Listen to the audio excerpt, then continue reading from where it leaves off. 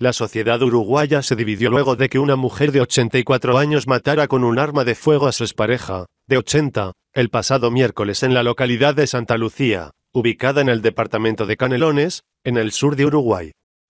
La policía confirmó el caso mediante un comunicado de prensa. La fiscal encargada del caso, Mónica Castro, explicó que el hombre tenía una prohibición de acercamiento dispuesta en el mes de noviembre, aseguró que en este momento el caso se encuentra en plena etapa investigativa. Estamos esperando las pericias y se va a hacer la reconstrucción de los hechos próximamente, agregó. Por otra parte, la fiscal señaló que en Uruguay, en caso de formalizar por un procesamiento, la gente mayor de 70 años no va a prisión, sino que permanece con arresto domiciliario.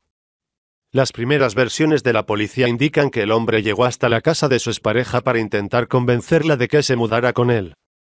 Este hecho generó una discusión y el hombre tomó un cuchillo con el que habría amenazado a la mujer y ésta se defendió propinándole dos disparos con un revólver calibre 38.